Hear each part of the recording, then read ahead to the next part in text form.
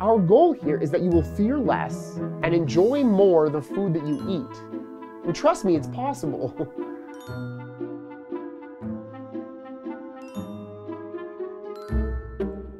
it's 7 o'clock in the evening, and you make your way through the grocery store aisle. Half the items in your cart weren't on the list, you're pretty sure of that, but it's dinner time, and snacks are looking pretty good. As you pay the cashier, you recall there is a reason you're not supposed to shop for food when you're hungry. Nobody wants to overeat. We all understand that overeating can lead to weight gain, obesity, and chronic diseases, and that we should be thoughtful and deliberate in our choices of what to buy and consume. Many of us think that the decisions we make are under our control, but the truth is, they're often not. In the real world of our daily lives, many important decisions are made automatically by reflex without that much thought. Too often, these quick decisions actually run counter to our stated goals or deepest desires. But it's not our fault, it's our brain's fault. According to Daniel Kahneman, Nobel Prize laureate and author of Thinking Fast and Slow, we have a fast thinking part of our brain and a slow thinking part. The fast thinking part gets us through our days. Making gut decisions about most of the choices we have to make. The slow thinking part does the heavy lifting when it comes to deep consideration and hard decisions. It also does the math. The slow thinking part is lazy. It won't do the deep thinking unless it has to. And key, it's also easily fatigued. All right, making choices about what to buy and eat it's probably not as tough as designing a nuclear reactor or calculating flight trajectories of a rocket, but it still takes a mental toll. The human brain gets tired after an intense round of decision making or after a long day of making choices. When this happens, our brains lean towards whichever option feels easiest, and this is seldom the best option for our health. The good, healthy choices tend to require a little more thoughtful consideration. We have a lot on our minds these days, though, and we are already overwhelmed with too many choices. When it comes to shopping, it's often too difficult to check all the labels and research each product we put in our cart at the grocery store. If it feels like things are getting harder, it's because they are. And it's not just because our lives have gotten busier, though they have. It's because we are faced with so many more choices today than we have ever had in the past. It's overwhelming. Rewind the clock to 1980, and consumers went into the grocery store and really didn't face any more daunting challenges than whether to buy Prego tomato sauce or Ragu tomato sauce. There weren't too many other options, but by the end of the 1980s, things had changed dramatically. Each of those brands was offering a wide array of sauce varieties, from you know chunky, spicy, zesty, and everything in between. And on top of this, the number of competitors was beginning to explode as well.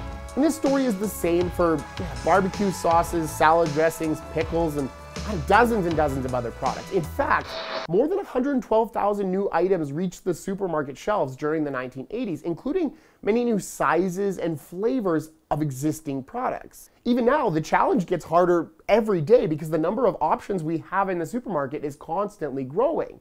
Dealing with all this is a mental burden that people didn't have to shoulder in the past. And yet another layer of complexity is added by the popular new wrinkle of online grocery shopping.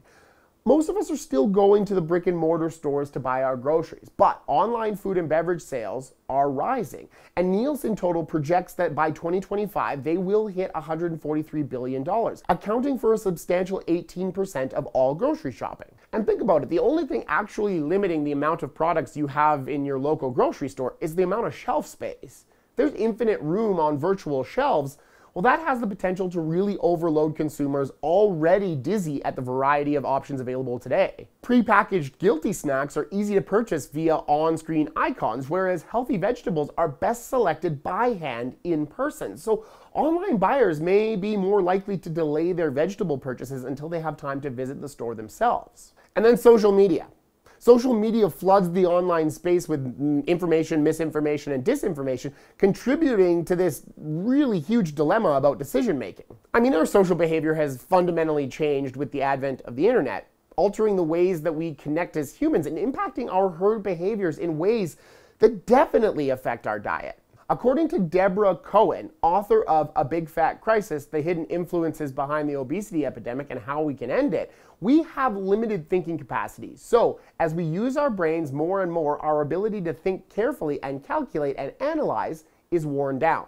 So there you go. Even if we don't go to the supermarket hungry, we can only spend so much time figuring out what to buy before our brains just become overloaded and we begin to make quick decisions based on the superficial characteristics of food, notably appearance, convenience, or labels. Hey, and guess what?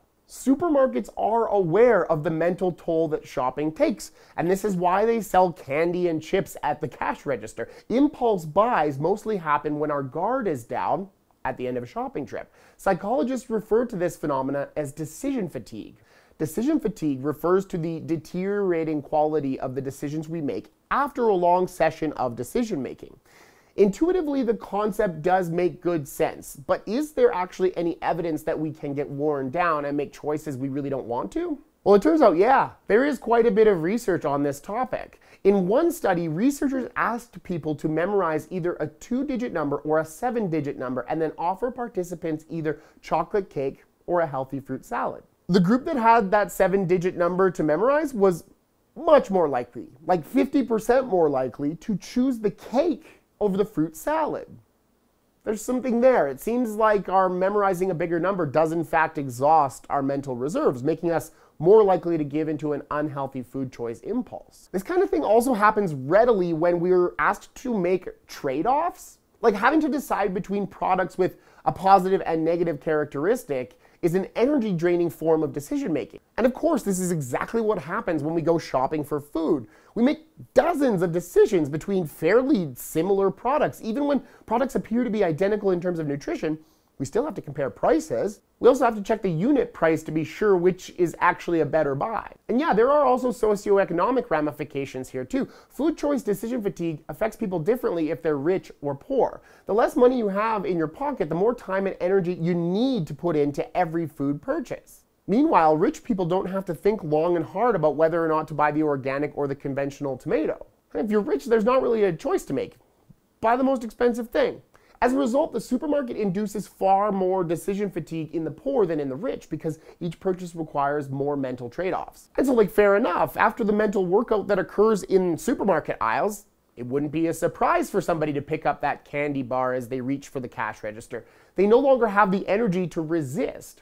In fact, by that time, most of us are apt to consider it a reward for the hard work of shopping clever supermarket. Decision fatigue also just takes our self control, crumples it up, and tosses it out the window. An example of this in yet another study, researchers showed a group of women an emotional scene from the movie Terms of Endearment. Half of them were asked to control their feelings during the scene. And the women who were told to suppress their emotions later ate 55% more ice cream than the other women. So, digesting all of this, one of the most interesting aspects of this research is that it suggests that the attention placed on food by the diet industry could be leading to decision fatigue and mental fatigue, which in turn is leading us to bad decisions and a loss of control. The more the public fixates on food, the worse the problem is likely to become. So that's the problem. What's the solution? Well, there are a number of strategies that you can use to avoid finding yourselves in these decision fatigue situations. Make important decisions at the start of the day before you're tired. Make strong commitments to pre scheduled routines like exercise. Make a shopping list and stick to it. Keep your blood sugar steady. Don't shop when you're tired or hungry. Knowing how the brain works gives us power certain circumstances are always going to reduce the quality of our decisions. But planning ahead, we can sidestep much of this trouble and we can eat a lot healthier in the process. So this video and all of the other videos in this Food Fear series are actually based on a series of articles by my friend Jack Bobo over at futurityfood.com. We've been working together to get those articles into video form so that you could see them. And if you like what you're seeing here, maybe click that subscribe button and hit the like button so we can get more people to see this stuff. And as always, thank you to my patrons on Patreon. You guys help me really make up that difference month to month.